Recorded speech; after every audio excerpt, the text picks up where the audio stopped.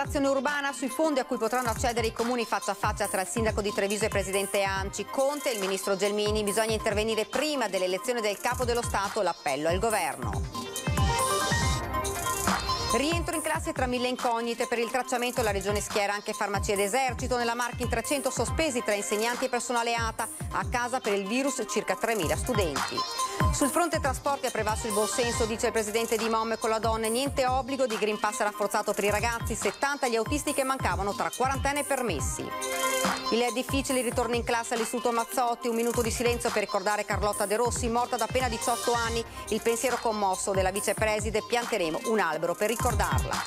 Controlli dei carabinieri del NAS in 20 case di riposo per anziani tra Treviso, Belluno e Venezia nel mirino rispetto delle normative anti-Covid e la regolarità dei Green Pass del personale. L'eurodeputato leghista da Re parla dopo la polemica per le critiche al segretario Salvini in tema di vaccinazioni. Serve sintonia, dice, tra i vertici del partito e gli amministratori per fare squadra contro la pandemia. Inaugurato oggi all'Istituto Comprensivo di Ponte di Piave nel Trevigiano un murales dedicato alla lingua italiana dei segni arriverà sotto forma di dépliant a tutte le scuole del comune.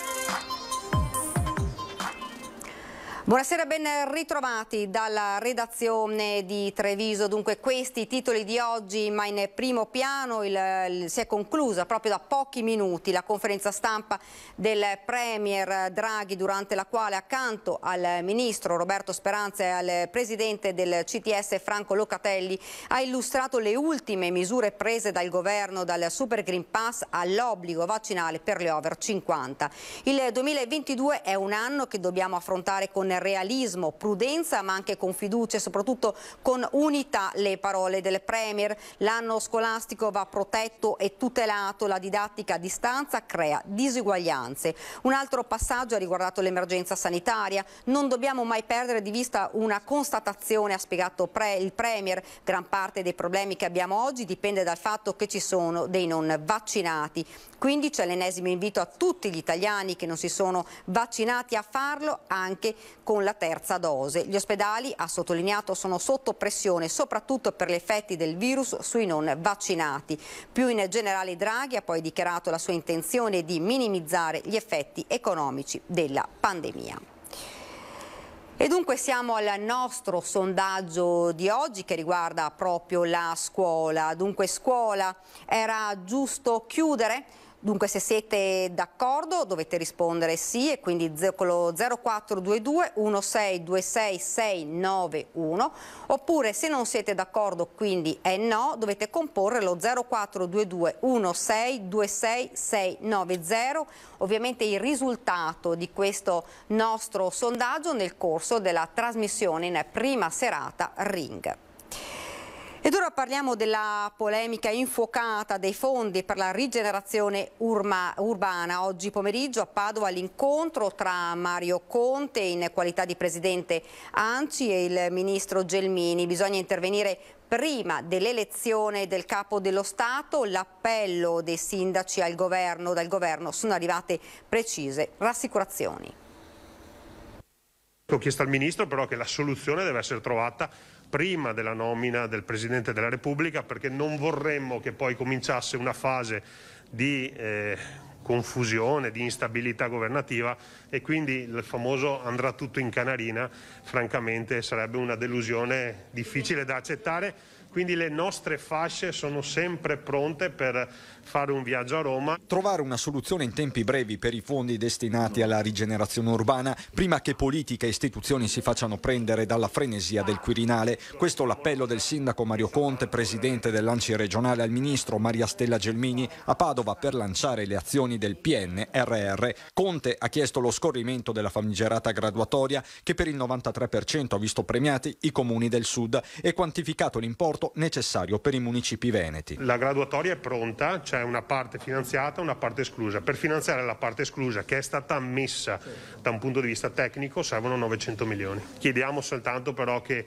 eh, le popolazioni, le comunità venete abbiano lo stesso trattamento di quelle del sud, che eh, ci venga riconosciuto il nostro impegno e le nostre esigenze. Precise rassicurazioni sono arrivate da Gelmini, che però ha sottolineato come i criteri fossero stati condivisi con l'Anci nazionale nazionale, ma al di là delle sottolineature c'è l'impegno. Ne ho parlato anche con il Ministro dell'Economia, con il Ministro eh, D'Inca, da parte del Governo c'è eh, consapevolezza di questa preoccupazione, di questo problema e eh, è già stato approvato in finanziaria un emendamento per fare in modo che 2 miliardi residui eh, di competenze regionali possano essere finalizzati anche alla rigenerazione urbana, anche al recupero di questi progetti. Gli strumenti finanziari dai quali attingere, assicura il Ministro, ci sono. Stiamo pensando ai residui della finanziaria piuttosto che a quel 20% di FSC che riguarda il centro-nord eh, per indirizzare queste risorse e poter dare un contributo concreto rispetto ai progetti della rigenerazione urbana che non sono stati ancora presi in considerazione. Dunque un rientro in classe tra mille incognite per quasi 600.000 studenti veneti per il tracciamento. La Regione schiera anche farmacie ed esercito. Faremo ancora una volta il massimo ma c'è un limite umano, dice l'assessore Lanzarin. Sono state destinate delle unità mobili da parte dell'esercito per lo screening nelle scuole che quindi potranno insomma anche questi andarci ad aiutare in quei contesti dove sappiamo poi c'è un intasamento un po' più importante. Scenderà in campo anche l'esercito per garantire il tracciamento nelle scuole del Veneto dove oggi sono rientrati in classe tra dubbi e polemiche quasi 600.000 studenti. Regione e commissario Figliuolo hanno quantificato le risorse a disposizione. Noi avevamo la previsione di una unità per azienda sanitaria, quindi vuol dire per il Veneto 9, 9 unità che sono formate oggi da un dottore e da due infermieri. Molto di più potranno fare le farmacie ora abilitate anche per lo screening scolastico, novità saliente degli ultimi provvedimenti. La previsione inserita nel decreto che non era prevista prima, che quindi le farmacie potranno effettivamente effettuare anche questo screening di autosorveglianza ci va ad aiutare perché potrebbe essere che poi la classe individui la farmacia del paese, si mettono d'accordo in una sera, appunto in un'ora della serata per portare tutti i bambini a fare a fare lo screening. Esercito e farmacie sono quindi una prima risposta con il presidente Zaia che continua però a chiedere una risposta univoca al CTS sul nesso tra rientro in aula e curva epidemica. Un dato è ormai evidente. Dobbiamo essere molto molto onesti che con numeri come quelli che stiamo vedendo oggi è veramente impossibile pensare al tracciamento, al contact tracing, a fare le telefonate, a chiamare ad avere il tampone in tempo reale, cioè è automaticamente e umanamente impossibile. Intanto il contagio sale, proporzionalmente meno i ricoveri, anche se i decessi nelle 24 ore causa Covid sono stati 23. 215 posti letto occupati in terapia intensiva, quasi 1600 in area non critica. In termini di colorazione, questa è la prospettiva. Secondo me rimarremo gialli anche tutta la settimana prossima. L'altro fronte, quello delle vaccinazioni, con il superamento nel weekend della cifra monster di 9 milioni e mezzo di somministrazioni in Veneto, con lo stesso figliuolo che ha annunciato vaccini anche di notte, visto l'obbligo per gli over 50.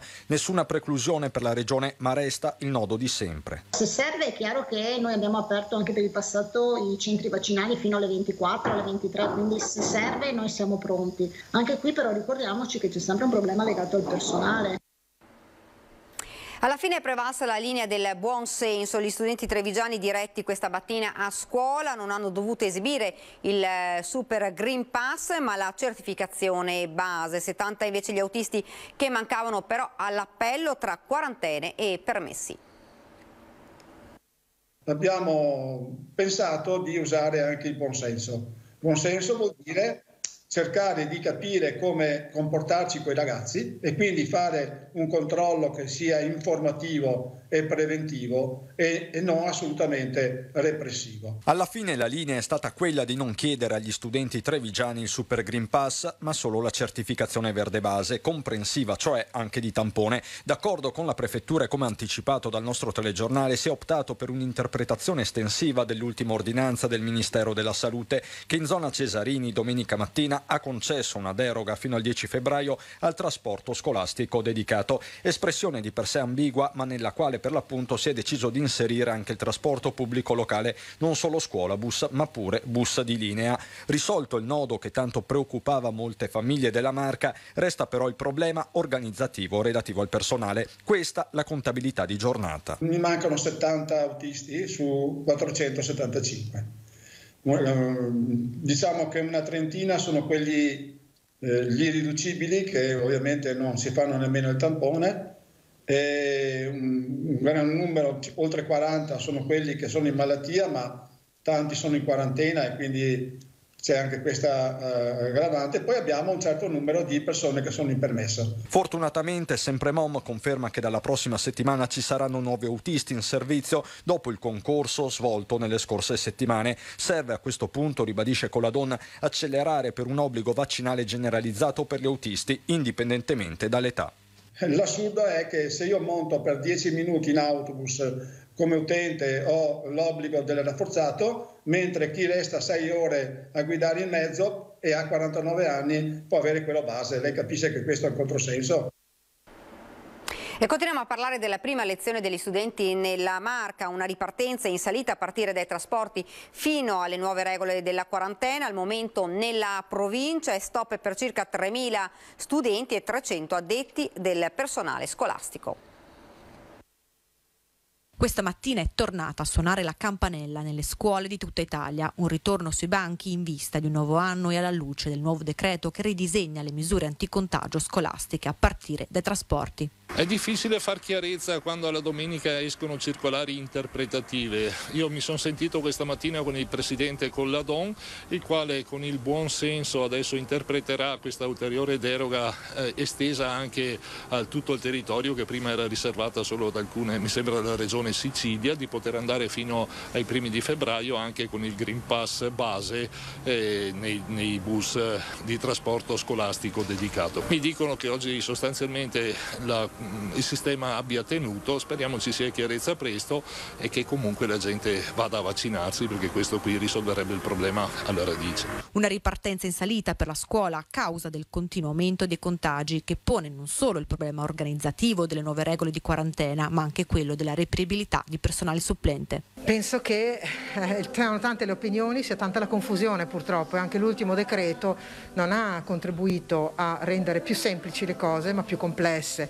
Certamente le tante quarantene che ci sono oggi impediscono a tanti docenti di essere in cattedra, è proprio un problema organizzativo. Il governo ha scelto di tornare in classe ma si trova a fronteggiare un'Italia spaccata in due e allarma infatti quello lanciato dai presidi che prevedono entro una settimana 200.000 classi in DAD. Io credo che la DAD in qualche, in qualche, momento è necessaria, non ci siano alternative.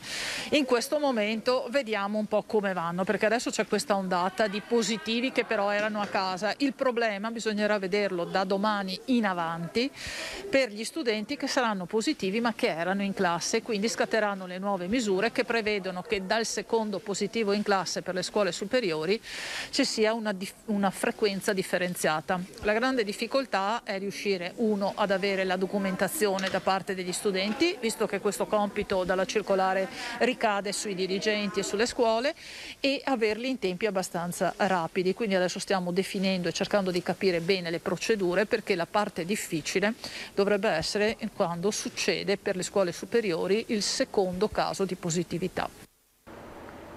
I controlli sono stati effettuati in mattinata sui mezzi pubblici anche dagli agenti della polizia locale che hanno certificato il possesso dei Green Pass rafforzati da parte di autisti e viaggiatori, studenti esclusi. Controlli definiti di routine anche ai tavoli dei bar, mentre nel pomeriggio l'occhio dei vigili si spostava sul rispetto delle norme anti-Covid nelle palestre. E rientro, e rientro, tra i banchi segnato dal lutto e dal ricordo per i compagni di Carlotta De Rossi, la diciottenne morta in seguito ad un incidente stradale. Gli studenti dell'Istituto Mazzotti hanno osservato un minuto di silenzio, il pensiero commosso della vicepreside. Pianteremo un albero per lei perché resti con noi. Il banco vuoto fa spazio a lacrime e ricordi, allo smarrimento, alle riflessioni dei compagni, degli amici con cui condivideva gioie e risate quotidiane, dei professori che non trovano le parole di fronte alla tragedia.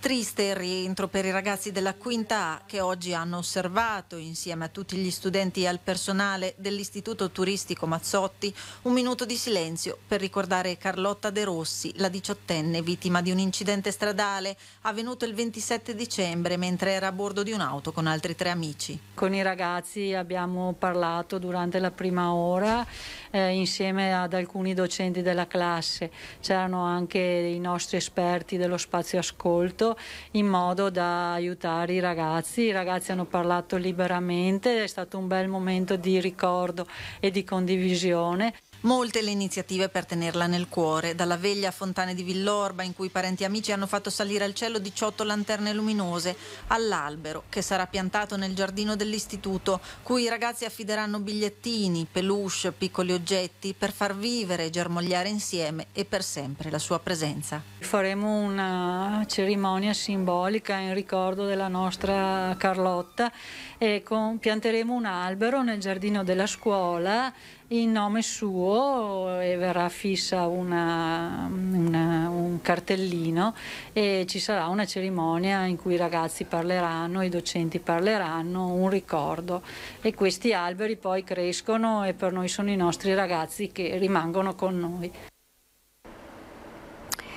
RSA nel mirino dei NAS, i controlli hanno interessato Treviso, Belluno e Venezia, non solo, una ventina le strutture ispezionate nelle tre province, non sono emersi grandi irregolarità a livello nazionale, comunque sono 107 le RSA, case di riposo, comunità alloggio e case famiglia trovate irregolari sulle 536 ispezionate in tutta Italia dai carabinieri del NAS.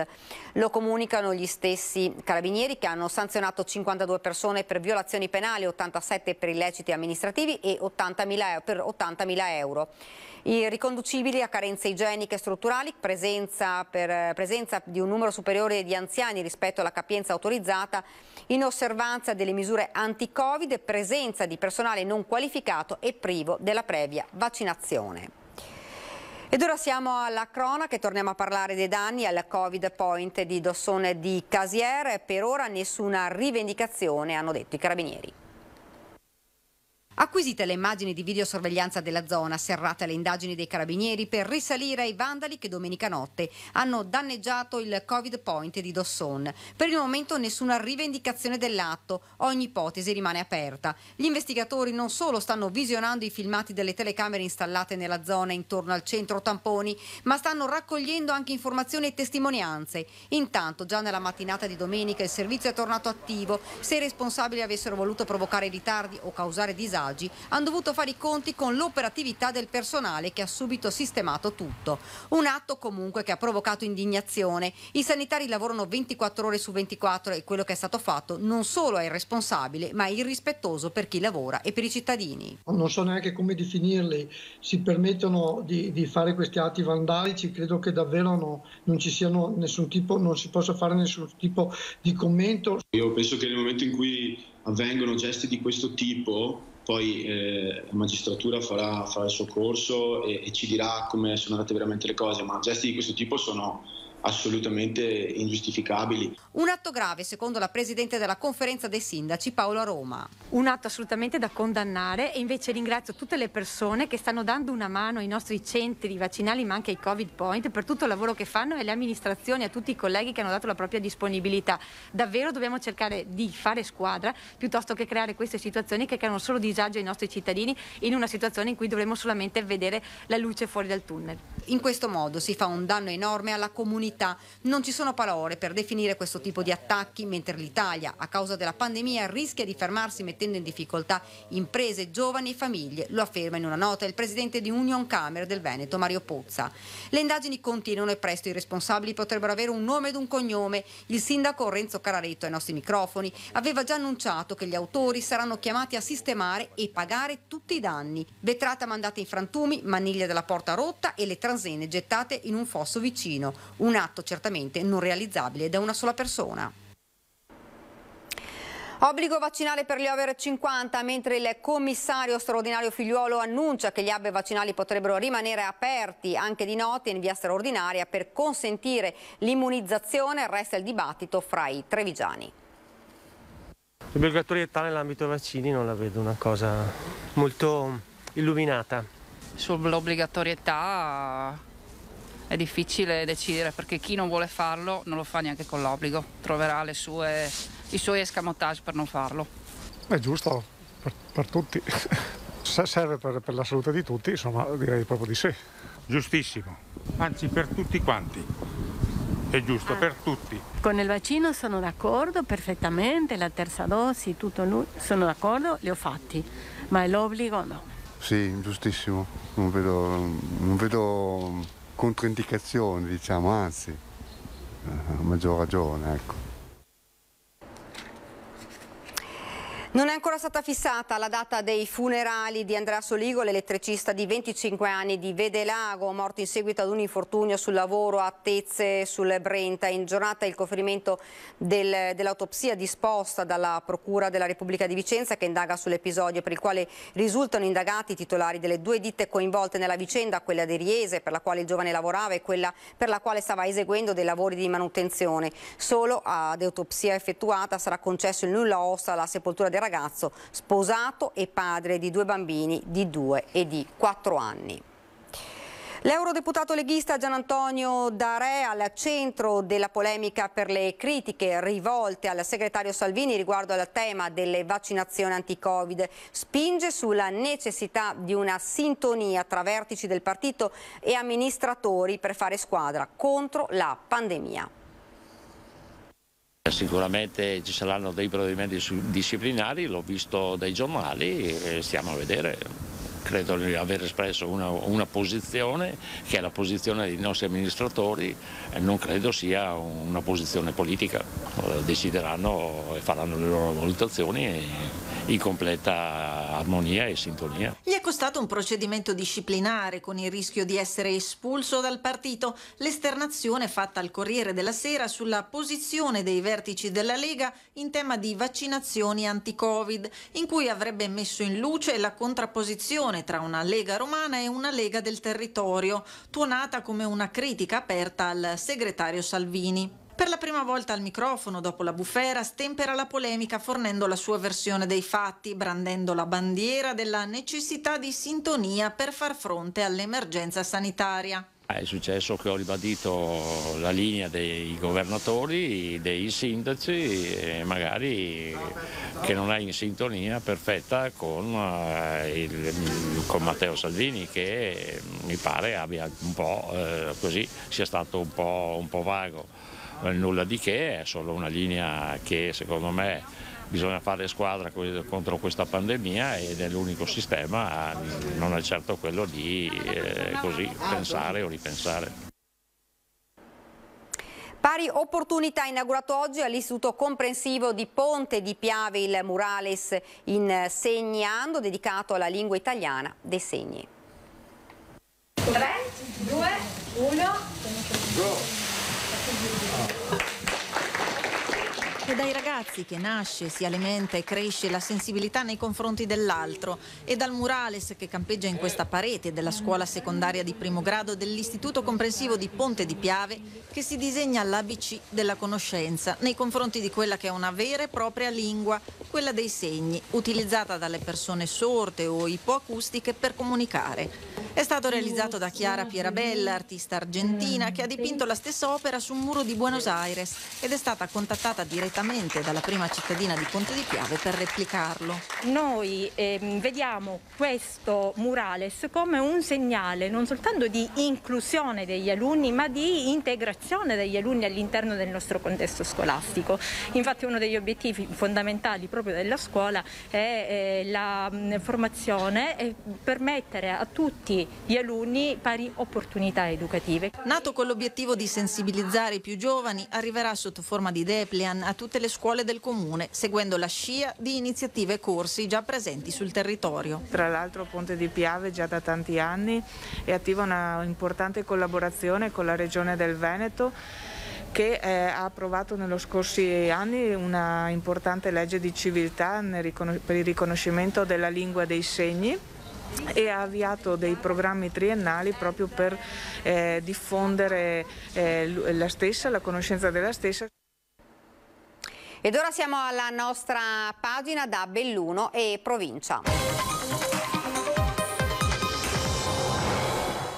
Ed è la cronaca ad aprire la pagina delle notizie del Bellunese perché nel primo pomeriggio si è temuto il peggio a Val di Zoldo attorno alle 14.30. Una mongolfiera che trasportava quattro persone, tutte di origini danesi, è precipitata su via Montepunta, la strada che attraversa la frazione di Casali. I soccorsi sono stati allertati dagli abitanti del posto che hanno immediatamente avvisato anche il sindaco Camillo De Pellegrin. Fortunatamente solo una persona dell'equipaggio è rimasta ferita. Si tratta di una donna trasportata al pronto pronto soccorso di Belluno dall'elicottero del SUEM, medicati sul posto gli altri compagni d'avventura. Secondo quanto hanno potuto ricostruire i carabinieri, la mongolfiera partita da Innsbruck ha perso quota per cause tecniche, sfiorando dapprima il tetto di un garage e infine tranciando i cavi dalla, bas dalla bassa tensione a ridosso della strada. In zona sono arrivati i vigili del fuoco, i volontari di Zoldo Alto, eh, con i colleghi del comando di Belluno e il personale di soccorso alpino. La mongolfiera è stata posta sotto sequestro.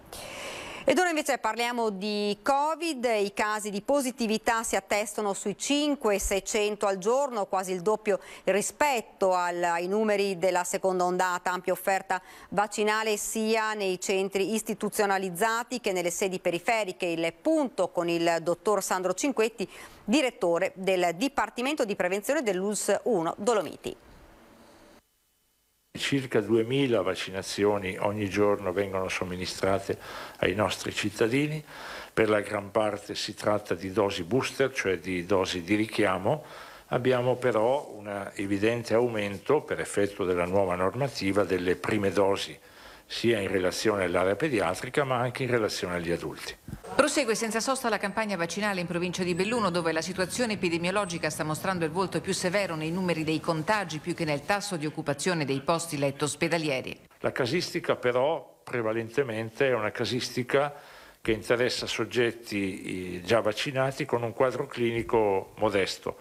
Questa è la combinazione di due cose, la protezione immunitaria data dalla vaccinazione eseguita e probabilmente anche una minore virulenza della nuova variante Omicron. Tutta da accertare la novità della variante Deltacron che sarebbe stata isolata a Cipro. Certamente sul territorio nazionale e anche nel nostro territorio provinciale circolano in parallelo la variante Omicron e la variante Delta.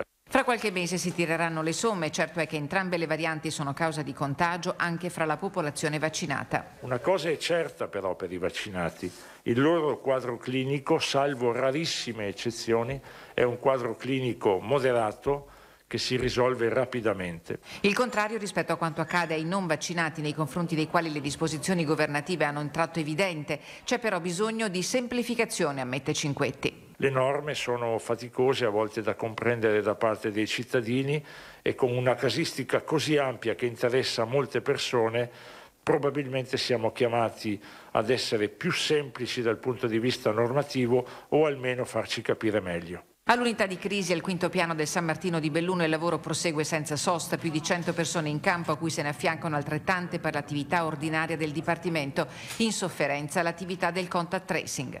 Oggi abbiamo situazioni di incidenza di 1000 su 100.000, evidentemente questo rende quasi impossibile effettuare la presa in carico dei contatti di caso. Gestiamo, come detto, anche se con fatica, i positivi con una discreta adeguatezza.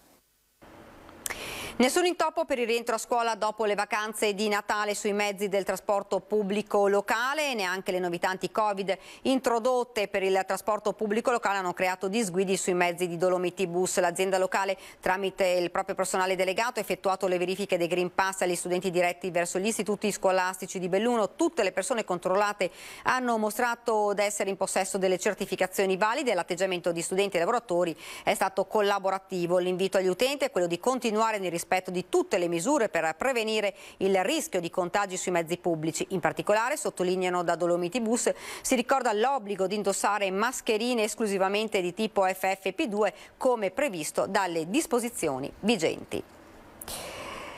Dunque oggi i cancelli dell'ACC si sono aperti di nuovo per i lavoratori a cui tocca ripristinare i macchinari per far ripartire la produzione. Grande attesa per l'esito della seconda gara che potrebbe chiudersi con la vendita dello stabilimento di Borgo Valbelluna.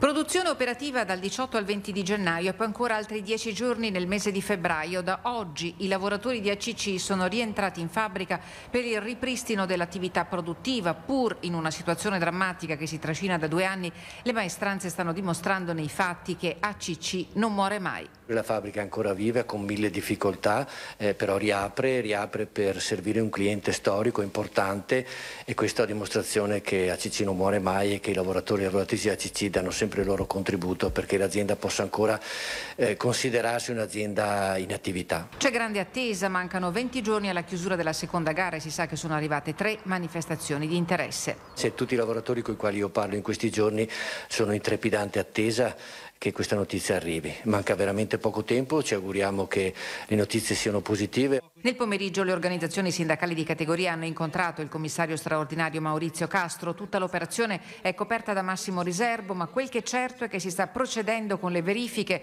che porteranno all'offerta vincolante di acquisto e a un piano industriale per dare una soluzione definitiva alla crisi di ACC. Il piano industriale dovrà naturalmente ricomprendere anche il perimetro occupazionale, quindi noi ci auguriamo che tutti i lavoratori oggi in forza ACC siano ricollocati nella nuova azienda e dovremo capire che tipo di proposta, che tipo di piano industriale avrà questa nuova azienda, se vorrà continuare a produrre i compressori oppure ci sarà un piano di completa riconversione dell'azienda. Se tutto ciò accadrà e le premesse lasciano ben sperare, seguirà una trattativa con i nuovi proprietari per le migliori soluzioni sia industriali che occupazionali per ACC. E questa sera non perdetevi in prima serata la nostra trasmissione Ring. Gli ospiti sono Carmela Palumbo, dirigente dell'ufficio scolastico regionale, Mario Conte, sindaco di Treviso, Lorenzo Damiano, che vi ricordate il Novax che aveva contratto il virus e poi si è pentito di non essersi vaccinato, Giacomo Possamai del Partito Democratico, Marco Bonet, giornalista del Corriere del Veneto. E questa era la nostra ultima notizia, io vi lascio come di consueto le nostre previsioni del tempo, grazie davvero per averci seguito, buona serata.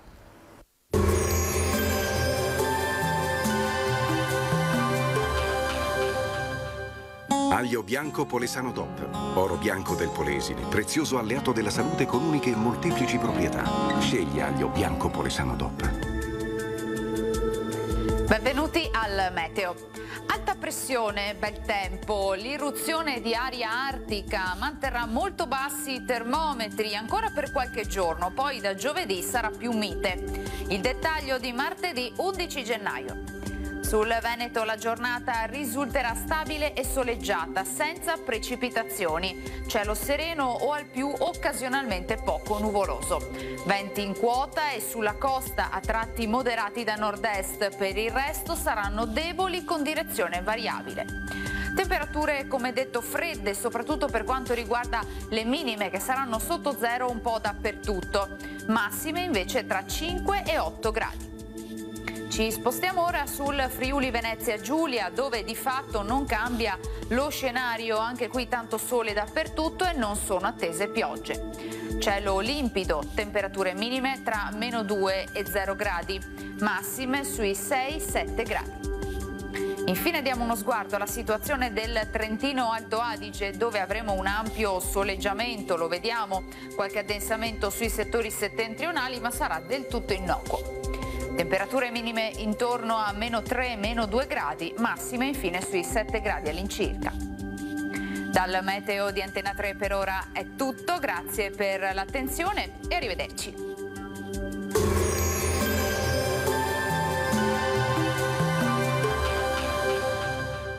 Aglio bianco Polesano DOP, oro bianco del Polesine, prezioso alleato della salute con uniche e molteplici proprietà. Scegli aglio bianco Polesano DOP.